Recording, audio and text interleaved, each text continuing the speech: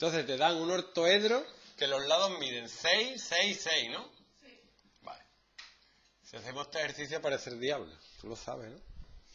El 6, 6, 6. Pues esto es un cubo, porque tiene todos los lados iguales. Todas las aristas son iguales.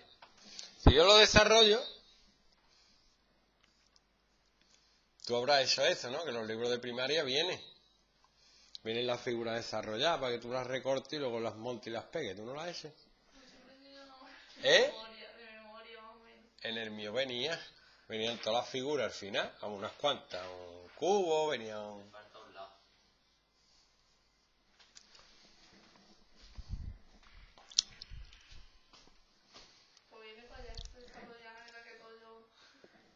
Pues igual.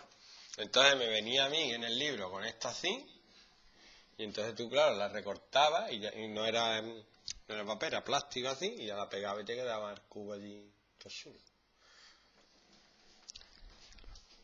Entonces, ¿qué área tiene esto? Para calcular el área total, calcular el área de cada uno. En este caso es muy fácil porque todos miden 6 por 6.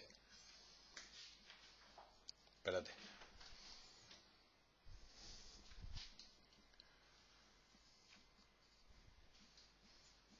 Entonces el área sería 6 por 6, 1, 2, 3, 4, 5, 6, 6 por 6 por 6.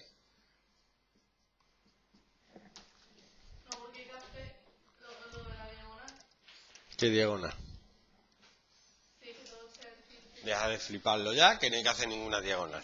¡No! ¿No te? ¿Yo qué voy a hacer? Aquí no hay que hacer ninguna diagonal. Pero eso es porque estamos haciendo otra cosa. Dibuja su desarrollo y calcula su área. Se acabó. Ese es otro, de otro tema, no, no te líes. Que no, que dice calcula su área, que no. Que sí. Que no.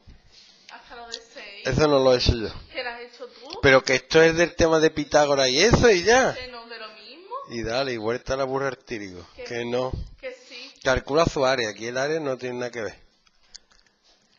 Esto es de Pitágoras. Que mira, además Pero que es otro, que es otro. Que no, que después mira, lo ves, el 12. Está aquí.